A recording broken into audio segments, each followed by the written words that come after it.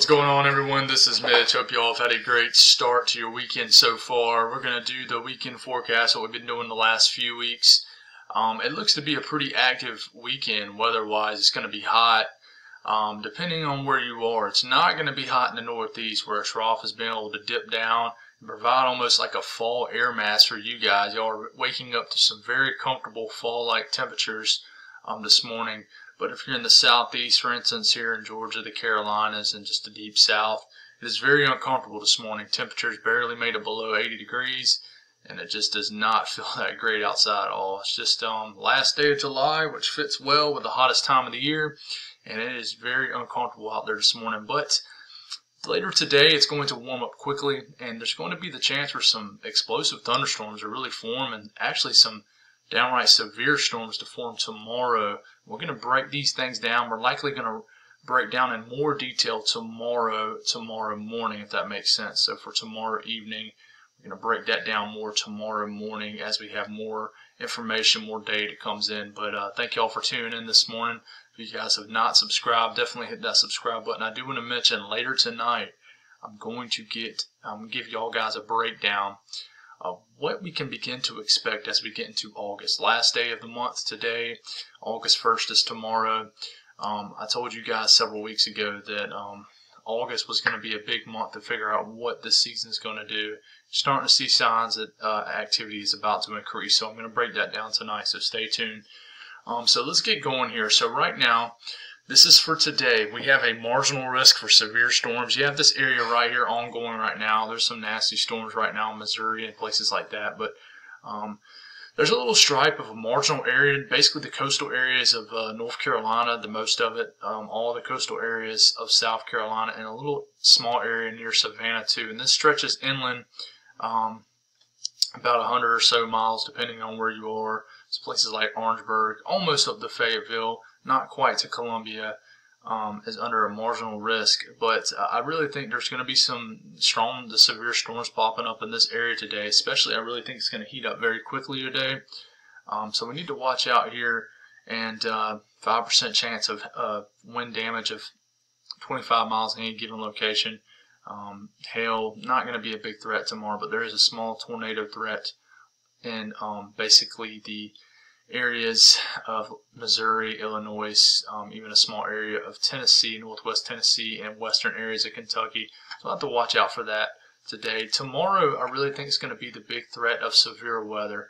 Um, this is tomorrow, as in Sunday. Marginal risk counting in the same areas, going stretching all the way to just north of Savannah, all the way into the southern areas of Delaware, including Richmond, um, Raleigh, but then you have this big area in eastern areas of North Carolina, southeastern areas of Virginia that's under a slight risk of severe storms. It's been a pretty active last, really, uh, two weeks for severe weather um, here in the eastern U.S. Um, it's not uncommon, but it's definitely not very common, especially this far south. You don't really see many slight risk. Definitely don't see many enhanced risk uh, th this far south at this time of the year. But uh, pattern is in place for it. We're going to have a chance to have some very um, uh, the instability is going to be very high. Um, and then you're actually going to have uh, the hodographs are going to favor supercells, which means it promotes a tornado threat. And basically, just with the winds veering and changing up in the middle of this event tomorrow is going to provide a little bit of a spin to the atmosphere. So there is going to be a tornado threat. As you can tell, there's a highlighted 2% risk. That's not a lot, but I really think we're going to maybe definitely get some tornado warnings tomorrow. There's a high wind threat too. Um, there's going to be a chance of damaging winds stretching all the way into the South Carolina. Um, hail threat's going to be high too. Not high, but it's going to be a threat because of the chance of supercells. There's also a chance of severe weather up here in the interior northeast. We're really going to break down this area of the Carolinas here. Um, but I don't know why that panel was up. But here we go. We're going to look at the radar here. And moving forward today, um, this is why you have that marginal risk right here in this area. Um, basically, um, you have kind of a dying area of thunderstorms that's going to continue to kind of die here, and then it's going to get into Kentucky and try to get going again. Um, and some more storms are going to explode here, really in Missouri. So there's going to be a nasty area, some storms that develops here, some severe storms I don't expect any kind of widespread outbreak of severe weather though. But uh, check it out here in the Carolinas, especially South Carolina. You have some strong storms really developing as you get late this evening. Um, we'll get a little bit closer to that here. Um, and as you can tell, this goes all the way out until about, I don't know, about 9 or 10 p.m. And storms are still going just south of Columbia. But this is just guidance. You don't really know exactly where these storms are going to pop up. But I do think today there's going to be some pop up strong to severe storms that gets going anywhere from Columbia to Macon points east to Charlotte points east to maybe Raleigh points east. And uh, there's going to be some individual stronger cells that has a chance to produce damaging winds and maybe some small hail. I don't see any kind of tornado threat today. Um, as far as uh, temperatures, tell of, of two parts of the country here. The northeast, even northern areas of the mid-Atlantic, waking up to some areas are in the 40s. Um, I saw something where the Hudson Valley in New York State um, almost tied their record lowest temperature for this date. Forgot the exact location, but uh, very chilly up there in some spots. Um, if they consider the 40s um, the last day of July chilly, I'm not sure, but I'm sure I would love to have 40s in July here in South Carolina. I'll tell you that, but um, you walk outside right now if you're in North Carolina, the Carolinas, Alabama, um, Georgia, Mississippi, Florida, as always, Texas. Um, it is very uncomfortable this morning. Um, uh, temperatures barely made it below 80 degrees, and it's just, it's just, there's just no, um, there's just, it just doesn't feel great outside at all. Um, but check it out. Uh, we warm up today, and notice how hot the southeast is. Temperature is going to soar very quickly um, to the 90s. There might be a couple 100 degree readings. I, I, it's going to be hard pressed to get that. But look at the Northeast. Look at Boston. Highs in the 70s today. Even New York City. Um, very comfortable temperatures. Lower dew points. Highs only in the 60s and 50s in the interior. Higher elevations of the Northeast. And there's going to be some kind of boundary in place, probably in Pennsylvania. And then the temperatures are much higher the farther south you go.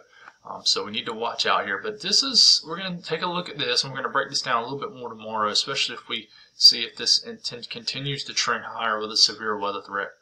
But as we get into tomorrow, we're going to fast forward to tomorrow morning. It's quiet in the morning for the most part. There might be some leftover energy moving through Virginia, so it might be a loud morning in the morning hour Sunday. But as we're getting into tomorrow afternoon, evening, some of these storms really could produce a quick spin up, a quick tornado. Um, I don't. It's not going to be kind of outbreak like New Jersey or anything, but these could really have some supercell nature to them. Um, I've thought about going up here and chasing. But it's a Sunday and it's church, and it's hard to do it on a Sunday. Sunday's like the worst day, even worse than weekdays. The chase, um, and it's a little bit of a long ride, but um, I'm trying to save up all my energy for hurricane season. Um, I really am. Um, it's tempting.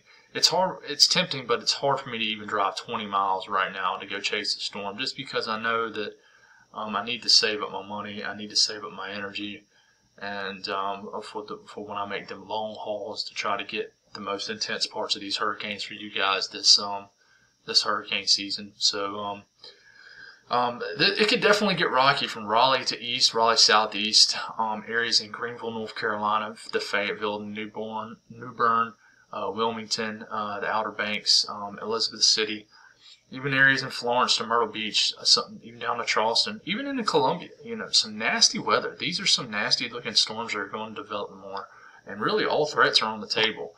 Um, damaging wind and is probably the biggest threat. Some downburst. But uh, we need to watch out for sure. Um, I'll get a little bit more detail with this because uh, it's going to be a rocky afternoon um, for sure tomorrow in the Carolinas and Virginia. But that's all I got, guys. Thank y'all for tuning in. Stay tuned tonight. I got y'all an update on the tropics. Um, it's starting to heat up. No immediate threats at all. Nothing's developed, but something's brewing out there, I think, here in the coming weeks. Y'all have a blessed day and uh, stay safe out there.